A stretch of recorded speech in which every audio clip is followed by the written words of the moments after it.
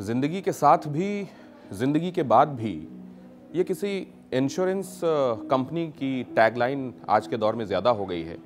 लोगों का स्नेह ज़िंदगी के दौरान और उसके बाद भी हो और उतनी ही शिद्दत, उतना ही प्रगाढ़ हो, ये कम होता है। ज़्यादातर अब लोग मटेरियलिस्टिक चीज़ों को तरजीह देते हैं उनके लिए दुनियावी चीज़ें ज़्यादा अहम हो गई हैं और रिश्ते, अपनापन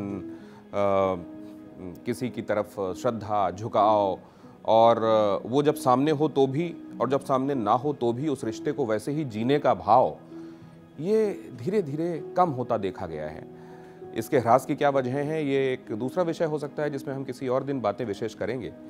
लेकिन आज बातें विशेष में मैं आपसे एक बहुत मार्मिक कहानी कहानी इसलिए नहीं क्योंकि वो सच्ची घटना है और कहानी इसलिए कि अब ये सब कहानियों में भी नहीं मिलता। एक लड़की जो कनाडा जाती है, उसको अपने ही राज्य का, गुजरात का, भरूच का रहने वाला एक लड़का मिलता है वहाँ। और दोनों एक दूसरे को दिल दे बैठते हैं। करीब चार साल तक वो एक दूसरे की मोहब्बत में गिरफ़्तार रहकर ये फैसला लेते हैं कि वो अब इसे रिश्ते का नाम देंगे, शादी करेंगे। उन्होंने शादी की और अभी इसको छः आठ महीने ही बीते थे कि लड़के के घर से, गुजरात में जहाँ उसका घर है, खबर आई कि पिता बीमार हैं और पिता को हार्ट का भी प्रॉब्लम है, कोविड भी हो गया है। लड़के ने फैसला किया कि वो कनाडा से यहाँ आकर अपने पिता की देखभाल करेगा। वो आया, उसने देखभाल भी की, पिता स्वस्थ होने की तरफ़ भी बढ़ चले। लेकिन खुद वो लड़का कोविड की चपेट में आ गया। मार्च में वो हिंदुस्तान आता है 2021 और मई में वो ख़तरनाक तरीके से बीमार हो जाता है। और अब खबर ये आती है कि उसको उसके क्योंकि फेफड़ों ने काम करना बंद कर दिया था तो एक टेक्नोलॉजी होती है जिसमें एक्स्ट्रा कार्पोरियल मेम्ब्रेन के ज़रिए ऑक्सीजनेशन की आ, कोशिश की जाती है जिसे एक्मो मशीन कहते हैं। इस एक्मो मशीन से गुजार कर उसके जो हमारे फेफड़ों से गुजर कर हमारा जो लहू है जो रक्त है उसमें जो ऑक्सीजन सोखी जाती है, वो एक्स्ट्रा कार्पोरियल मेम्ब्रेन के ज़रिए वही काम लिया जाता है। मतलब ये समझ लीजिए कि शरीर से बाहर एक तरीके से एक मशीन होती है जो फेफड़ों का काम करती है। उसमें कई दिनों तक रखा गया, सोचा गया रिवाइव हो जाएगा शरीर, लेकिन शरीर ने जवाब देना शुरू कर दिया। और आखिर में इस तरह के मामलों में अक्सर जो देखने को मिलता है मल्टी ऑर्गन फेल्योर वाली जब नौबत आ गई और अस्पताल को ये लगा कि अब नहीं बचा पाएँगे तो अस्पताल के डॉक्टर्स ने, प्रबंधन ने, परिजनों को बुलाकर ये बताया कि अब हमारे हाथ से बाहर की बात है। और अब हो सकता है कि इनकी सांस बमुश्किल दो तीन दिन ही चले। सोचिए पत्नी पर क्या बीती होगी, जो अभी मुश्किल से साल भर पहले जिसने अपनी मांग में सिंदूर डाला था, उसे जब ये खबर मिली होगी तो उसके पैरों के नीचे से ज़मीन खिसक गई होगी। यही हाल परिवार के दूसरे लोगों का था माँ बाप का था, उस लड़के के।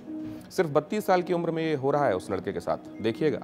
और यहाँ वो जो महिला है अक्सर ये देखने को मिलता है कि, और ये वैसे समाज सुधार के लिए उठाया गया कदम था जब ये फैसला किया गया कि कम उम्र में जो महिलाएँ अपने पति को खो देंगी, विधवा हो जाएँगी, उनकी ज़िंदगी फिर से बहाल हो सके, पटरी पर आ सके, इसलिए अगर वो पुनर्विवाह के बारे में भी सोचें तो ये किया जा सकता है।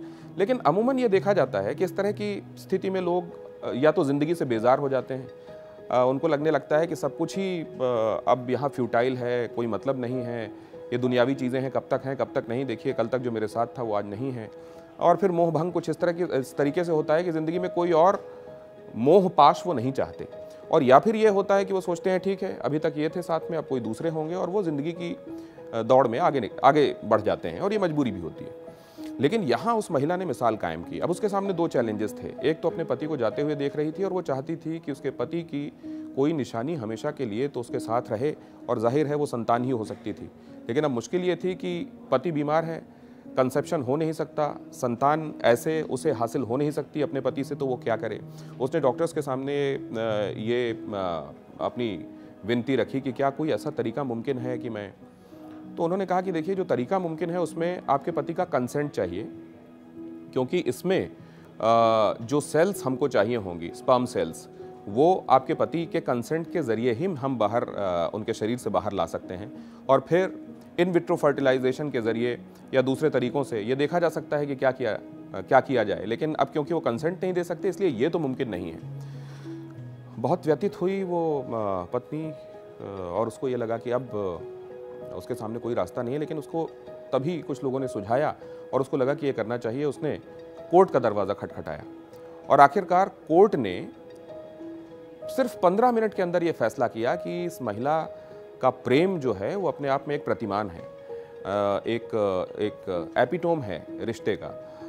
इससे इससे बड़ी चाहत किसी स्त्री की क्या हो सकती है? ख़ासतौर से उस दौर में जब वो विदा कर रही हो अपने पति को इस दुनिया से, कि उसकी कोई निशानी हमेशा के लिए जीवित तौर पर उसके साथ हो, और अगर ये किसी भी तरीके से मुमकिन है तो उसे ये साकार करना है और इसके लिए वो विनती कर रही है।